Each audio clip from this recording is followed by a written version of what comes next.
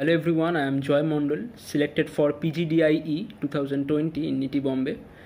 Uh, I passed my BTech in Textile Technology last year, 2019, from Government College of Engineering and Textile Technology, Srirampur. Well, uh, actually, last year my GATE score was not satisfactory, so I was working in a private firm.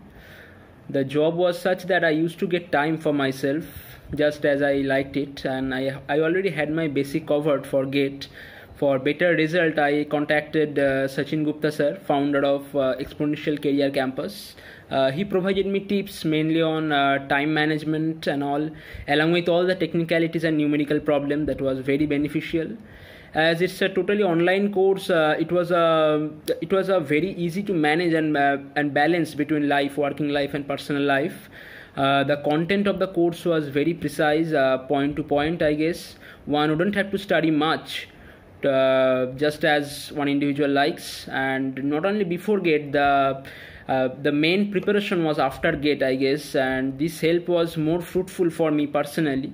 Uh, we uh, as all the candidates of exponential career campus we had a group in whatsapp.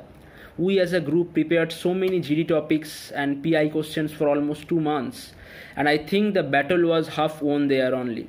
And i was not at all afraid for any topics during my NITIE interview. I was pretty much confident about myself. Well, now I just want to enjoy my course in NITIE, hoping to learn all the management tricks uh, needed to be a successful tech manager.